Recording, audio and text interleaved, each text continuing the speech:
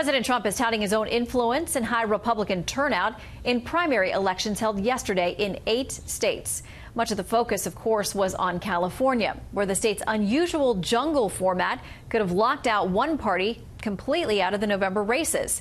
Correspondent Peter Doocy is in Del Mar tonight with an update. California's gubernatorial primary didn't have a blue wave, instead, a Republican riptide.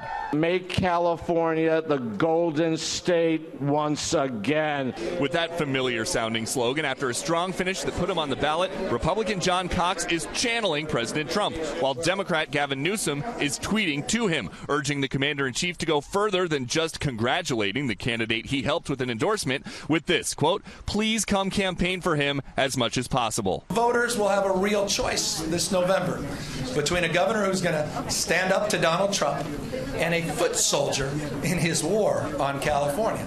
But Cox is correcting Newsom. And it wasn't Donald Trump that passed the sanctuary state. Gavin, you did that. For weeks, California's airwaves were blanketed with campaign commercials, but turnout was still a soft 21.9%, 3% lower than the 2014 gubernatorial primary. Some voters ran into trouble because a printing problem in LA County left 118,000 residents off the rolls at 1,500 precincts.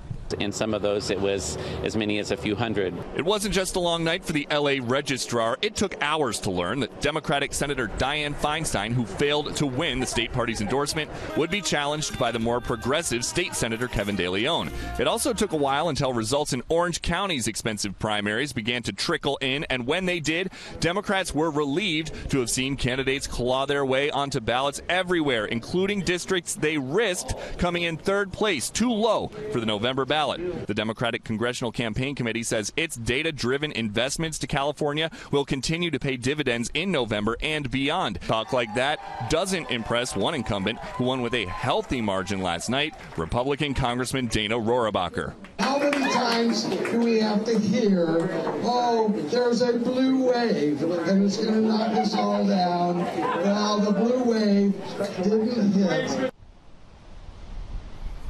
Republicans are defending 10 House seats here and found out late last night they've got something new to offer voters who are also hearing from a very energized Democratic base, and that is the opportunity to vote for the first Republican governor, to elect the first Republican governor in this state since Schwarzenegger. Shannon? Well, everybody agrees he's got an uphill battle, but we've seen other things happen. Uh, Peter Doocy, thank you very much for your reporting out there in California.